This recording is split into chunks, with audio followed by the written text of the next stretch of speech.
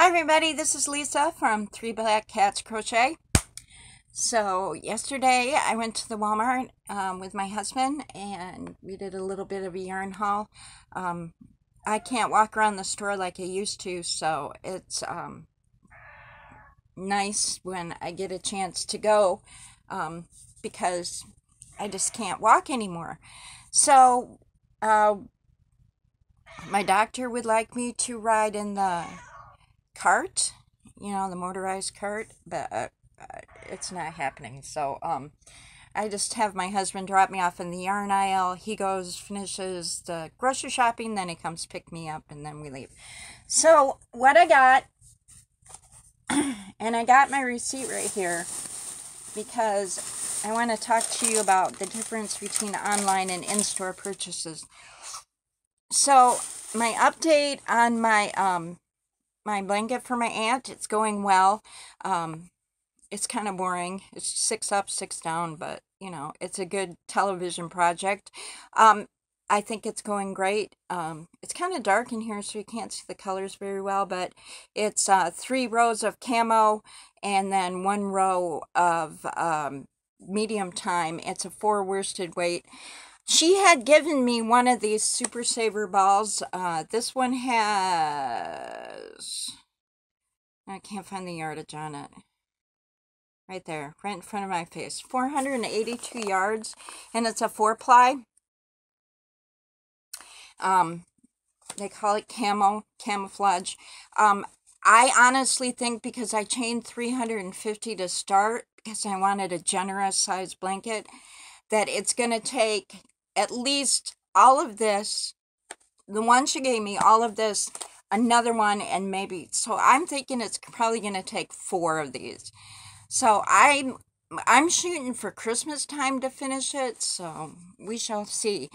I've been, like I said, I've been doing three rows of the camouflage and then cutting it with one row of medium thyme because, um, just for eye value because I you can't really tell. I wish you could see uh, back here more. Can't see.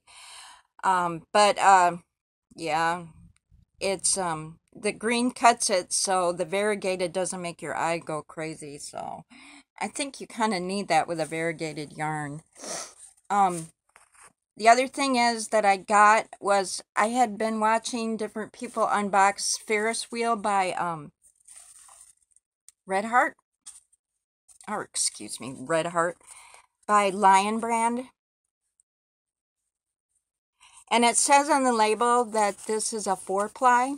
This one happens to be called Vintage Carousel. There's a 270 yards in it. Um, it says it's a four. It's not a four.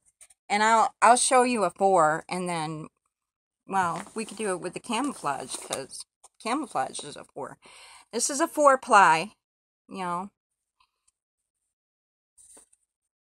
This is Ferris wheel. There is a big, it's not really coming across on camera, but there's a, it's a three. It might be a, a big three, but it's not a four. And how I know it's not a four is because I was watching Crystal from Bag O Day Crochet. She had taken some Red Heart hopscotch yarn and had made hats for her children. And so I thought, well, if it's four, I can just use that because hopscotch is a four. It's not a four.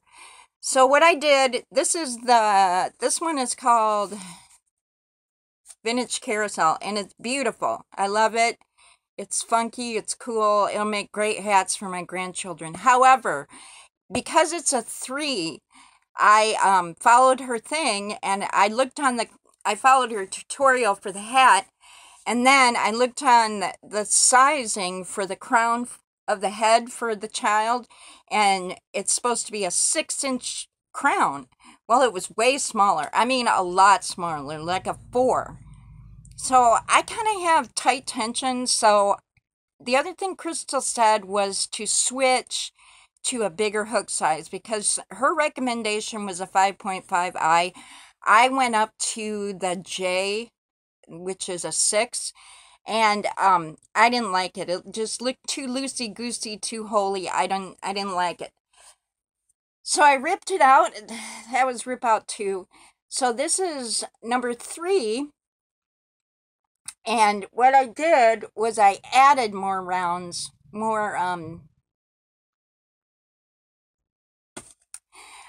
you know, when you got the word right in your head and you can't think of it. Uh, I added more rounds to make it bigger.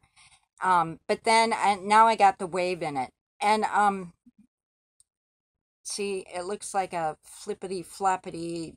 I don't like it. So I'm going to rip it out for the fourth time and I'm going to spend some time on YouTube and take a look and see if I can't find a pattern for it's it's like a a 3. I need a DK weight um kid hat tutorials what I'm talking about. That's what I'm looking at. So these I got my receipt right here. The the these little balls of um, Ferris wheel they retailed for 347 at the Walmart, and the big Super Saver, the big one, that retailed for 644. So I was pretty happy with that. then I've been I had this in my uh, WIP pile work in progress, and because it's October, I thought this is a perfect time to pull it out. This is the Lost Soul Skull Shawl by um, Marietta Roy. It's a free pattern on Ravelry. And I was doing it with Unicorn by Mandala Lion Brand. So I was going around, going away, going around and around, and I got to the white part and I realized that on my yarn there was like coloration that wasn't supposed to be there. So I um I started looking at it and sure enough I had spilled coffee on it and you can't I don't know if you can tell but it's so I was since this is a gift for somebody I didn't want to finish the shawl and take a chance of washing it and not having it come out. So I just stopped and um I I don't want to wash loose yarn. So what I was thinking is I could make a, a hat for one of the grandchildren and wash it and if it doesn't come out you know just garbage but i didn't want to give it as a gift and so i've worked really hard on it. So this is what spirit or unicorn looks like by uh, lion brand by mandala this is a three. I made the skull shawl before for my sister terry. I did it in spirit which is this color and it takes it takes a good one and a half to almost two balls depending on how long you, you like it. Now my sister terry hers that i did i did hers in um, with an h hook a 5.0 millimeter. This one i'm doing with a g hook which is a 4.5 millimeter. Why? Because i just on a three weight i like using the g. I don't know I know. They recommend an H hook. I like the G. That's fine. So I got the unicorn. So then I had seen Fiberspider um, was doing a tutorial on the Lost Lost Souls skull blanket. So what you do is you basically make a granny square and then you you put skulls around it and then you add more skulls and they get bigger and bigger. It's based on the same pattern by Marietta Roy. Um, so my daughter likes that kind of weird stuff. So I thought maybe I would get pick up two balls of spirit after I finish my sugar skulls shawl or lost soul shawl, whatever you want to say it. And I would do um, my daughter a blanket for Christmas time. But the best laid plans, so we shall see how that goes. I really wanted some more pixie. This I've had this for a long time. I made something with it. I didn't like it. I pulled it out. I do that a lot. Um, I figure if you get like 10, 12 rounds in and you don't like it, then pull it out and redo it. So I wanted another ball of pixie because I like pixie. This is pixie by Mandala, Lion Brand. I like the colors. But they didn't have, I couldn't find the skein. So I did pick up another ball. Uh, this one is Warlock. I have about a half a skein, three quarters of a skein. So I now have one and a half. And I found out that if you're doing a project like a shawl or something, one ball is not enough. You need two.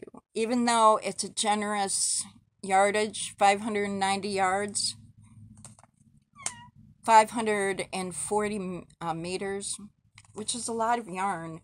Um, I just, I, I find that you need to. So I got to the register and let's see. The mandala balls Warlock was 497. Spirit was 497. That's what it was priced at.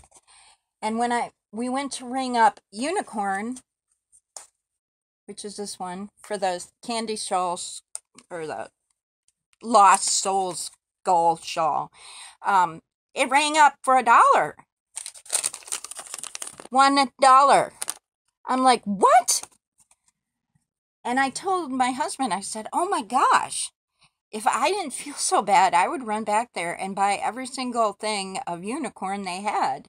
Or get a big cart and throw a bunch in and see which one are ringing up a dollar and which ones are ringing up full price. So he's like, well, you can go. And I'm like, I, I just, I, I don't have the strength to go back. So he's like, well, maybe you can go tomorrow. And I'm like, okay, well, maybe I can. Um, but I probably won't. But I'm just telling you, I couldn't believe it. It rang up a dollar. And the other thing is, is when I got home, I wanted to see if they had more of this pixie, and I had just missed it, and um, they didn't have it in my store online. But the other thing is, when I was looking online, they said the in-store price was six ninety seven. I didn't pay six ninety seven. I paid four ninety seven. So why is Walmart telling you online that if I ordered it for like say pickup, they would charge me six ninety seven when if I had walked my little butt into the store, I would be charged four ninety seven. So I want y'all to be careful and look. I mean, two dollars extra per skein of yarn is a lot. And the unicorn that I got for a dollar, it was ringing. It was on the online price. It was a good six ninety seven. So why I don't know. The other thing I wanted to tell you about mandala is because they're all wound differently. This one came with a big pink in the middle and then white and then on to blue. And because I had stopped at the white on this, I have you have to um to make it look even and go with the color scheme, I had to pull out the big wad of uh, pink. But that's okay because, you know, I can use this. If I can get the coffee stains out of this yarn, I can use this and this together and make hats for the girls. But that was a really long-winded discussion. I hope you're really well. I hope everybody's doing good. Um, that's all I got today. Thank you so much for watching. See you later. Bye.